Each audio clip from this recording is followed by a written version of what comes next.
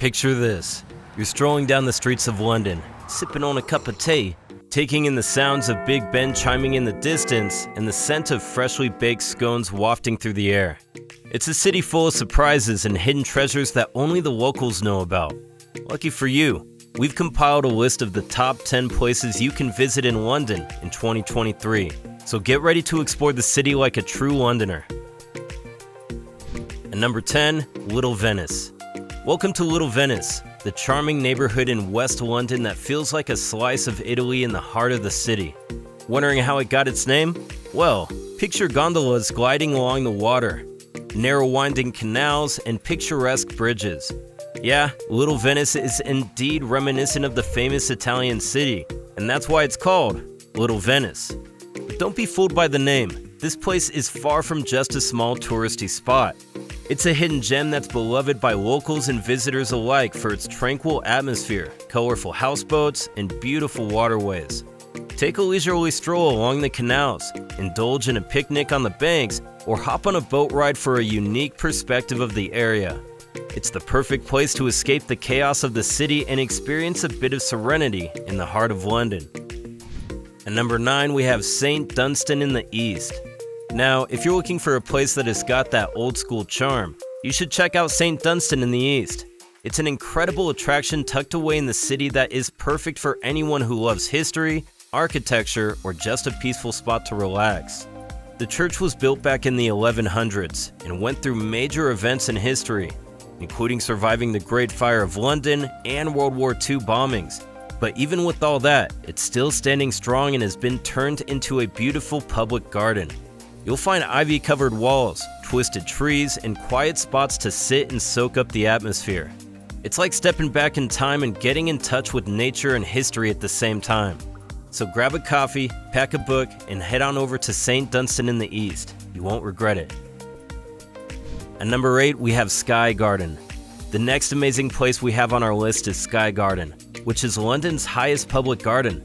Sky Garden is a must-see destination in London for anyone who loves a good view. With its 38-story glass building, you'll get a stunning 360-degree panoramic view of the city skyline that you won't find anywhere else. And the best part, it's totally free.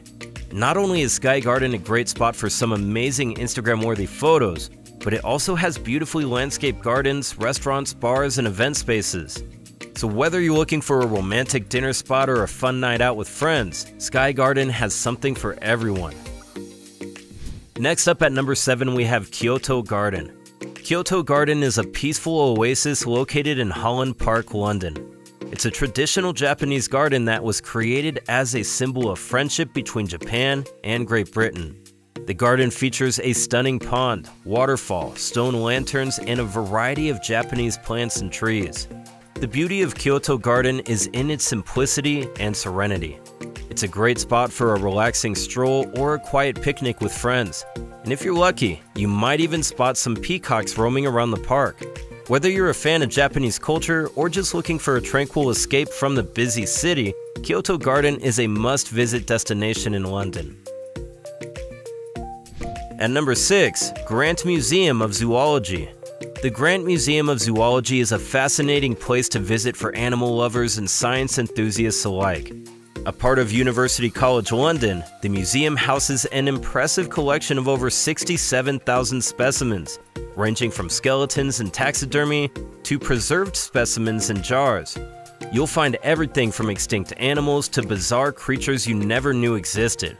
The museum also has a range of interactive exhibits and events, making it a great destination for all ages.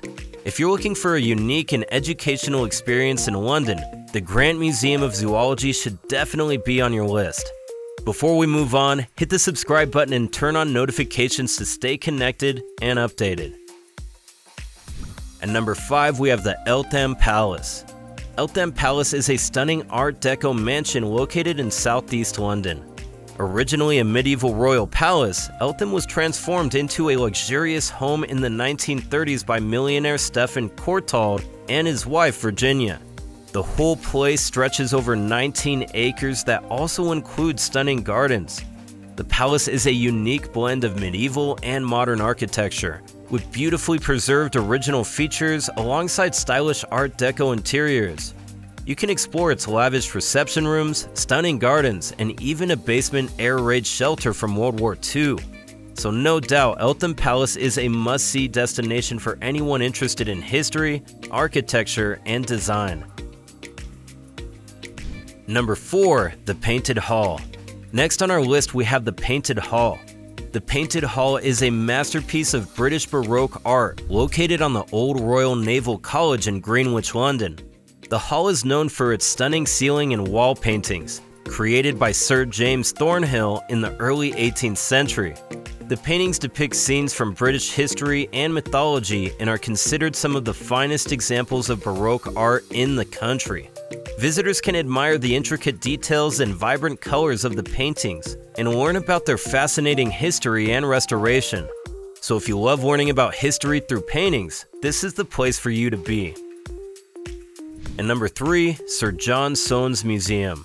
If you're looking for a quirky and fascinating museum to visit in London, you definitely need to check out Sir John Soane's Museum. This place is full of surprises, and you'll definitely love it. The museum is located in the former home of Sir John Soane, a famous architect who designed some of London's most iconic buildings. The house itself is a work of art, with beautifully preserved Georgian interiors that will transport you back in time. But the real treasures of the museum are Soane's incredible collection of paintings, sculptures, and antiques. You'll see everything from ancient Egyptian artifacts to stunning Renaissance paintings, all displayed in a way that is both stunning and thought-provoking. One of the fascinating features of the museum is Soane's use of natural light. The skylights and cleverly placed mirrors make the rooms feel bright and spacious, even though the house is actually quite small. Number 2. Warner Bros. Studio The Warner Bros. Studio in London is a must-visit destination for Harry Potter fans and movie lovers alike. This working film studio is where all eight Harry Potter films were made, and visitors can explore the real-life sets, costumes, and props used in the movies. You'll get to see everything from the Hogwarts Great Hall to the Forbidden Forest, and even take a ride on the Hogwarts Express. The studio also offers behind the scenes tours, special events, and interactive exhibits that give you a glimpse into the magic of movie making. If you're a Harry Potter fan, this will feel like a paradise to you. Now, number one, we have the Westminster Abbey. Westminster Abbey is one of the most iconic and historic buildings in London. Located in central London, this Gothic masterpiece has been the site of coronations, royal weddings, and famous burials for over 1,000 years. The interior is breathtaking, with soaring arches, intricate stained glass windows, and countless monuments and memorials to famous figures from British history. If you visit this place, you'll get to explore the cloisters and gardens and even attend a service or concert. Whether you're interested in architecture, history, or religion, Westminster Abbey is an amazing destination that will leave you in awe. So, guys, these are the 10 best places you can visit in London this year. Which of these places would you like to visit first? Let me know in the comments below. Thank you for watching, and we'll see you in the next video. Goodbye.